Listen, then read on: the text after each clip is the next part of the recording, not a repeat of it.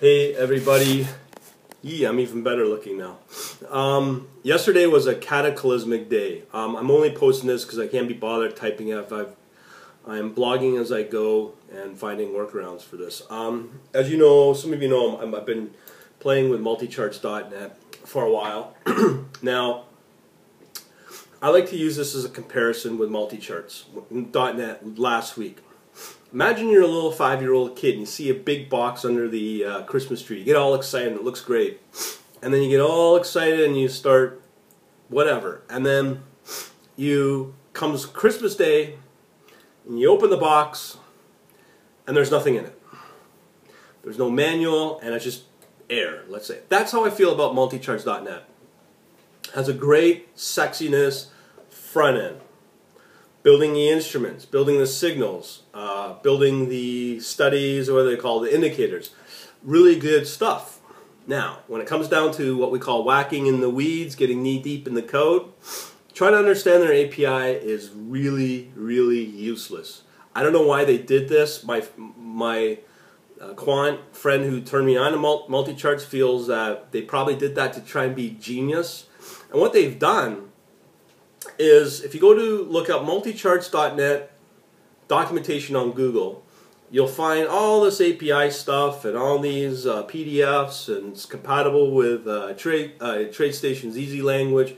Great, you read that. One of them's over 14 or 1,200 pages, and you get all into that. Then you still don't understand anything. Then you go to the forum and you start right from the day they announced this product back in August 2012 or July 2012. And you go through all their stuff and you understand the process. You still don't understand it. There's no tutorial. Uh, they say refer to the help in the Power Language Editor. Now, i am going to do a video on this, but there is literally nothing to it. It's not like where you can go to MSDN, look up a help on one of their properties or methods, and there's a good description of it with a working example. And you're trying to figure heads or tails out of this thing. Honestly, it's really Mickey Mouse. And because of that, I've spent almost a week with it. Um, I've decided to move on from multi-charts. Now, it's a sad thing because multi-charts is a very powerful platform.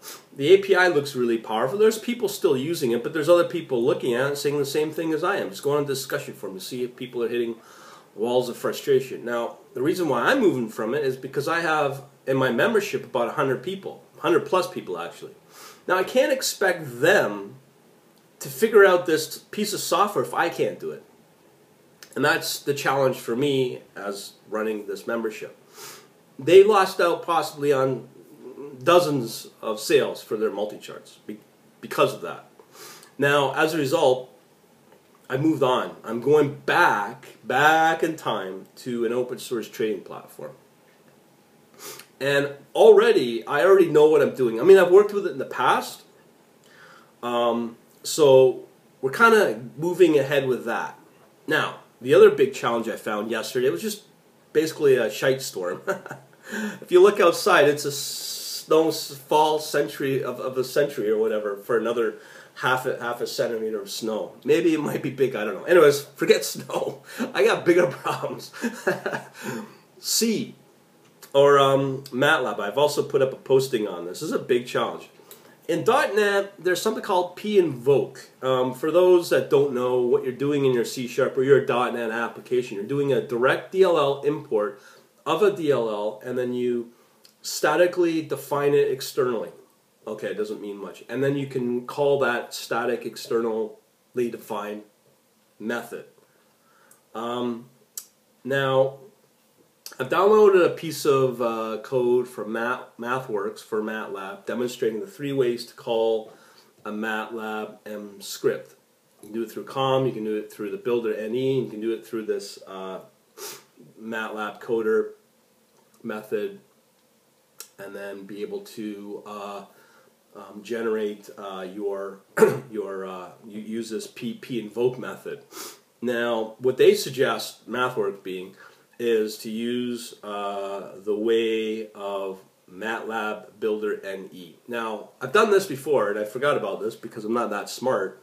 Um, the Builder NE or the Builder JA when you work with a source code within your C sharp and using this methodology, MathWorks has got this crazy way of handling their data and converting it. You got to pre-pack it, send that new data to your MATLAB M script function, and then you have to get comes back and you have to unpack it. La la la la la.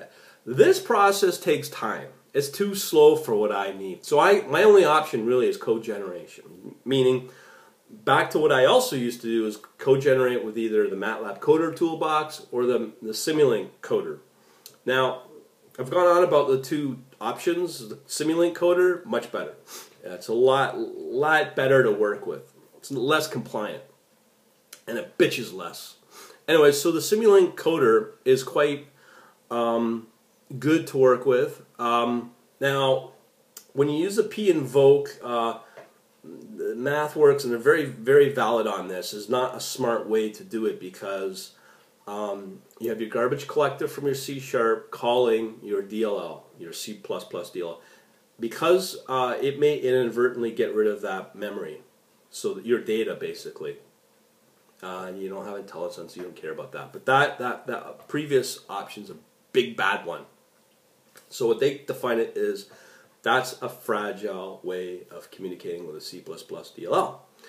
So I'm coming up with an idea. I'm not sure if it's the right way to do it, but I'm hoping it will be. Is to use the Simulink coder to generate C. Now, there's an advantage with C versus C++. It's a lot simpler. It's a lot easier to look at. Less. Uh, C++ is very notorious for just allowing you to pull your hair out. Thankfully, I don't use C++ so much, so I have hair still. Um, but when you see it's a lot simpler, and what you're going to do is you're going to create a static library. Okay, so from there, you create a managed C++ DLL that will manage that C library, the C static library from MATLAB. That's what I'm thinking of doing. And then from there, with my open source trading platform, I've confirmed that I can have its strategy DLL, no different than multi-charts, be able to call a managed C++ DLL. Quite a bit, I know.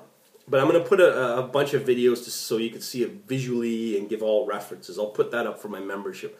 But I'm just letting people know about this because it's one of those critical things that I didn't even know. I mean, it's even stumped uh, a few uh, highly experienced people. They're not sure on it. But above anybody else I'll take, I'll take that claim from MathWorks as, as gospel. Why? Because, well, it's MathWorks and they know, they most likely know what they're talking about. Um, so I am going to proceed by doing, again, this method of generating in C, create, turn that into a static uh, library, and then creating a manage C++ wrapper that will call that C static uh, library. That's what I'm looking at doing. So I'm still doing it. Once I see it working, I'll confirm with a few people to see if, if it's valid, and if so, we're on to something. And I keep saying we're on to something, I know, but you always get all these gotchas, and as I keep saying, please, please, please, please don't hate me because of it. It's technology, it's evolution of software development. This is what I like about it because it's challenging. But the thing is, um, uh, nothing is final until you start trading with this. You could have all kinds of stuff out there that you think may work, but it doesn't work until you start seeing the El Dinero. Just something to think about. And uh, once we get the right workflow together, um, I'm hoping to uh, move on pretty fast and furious.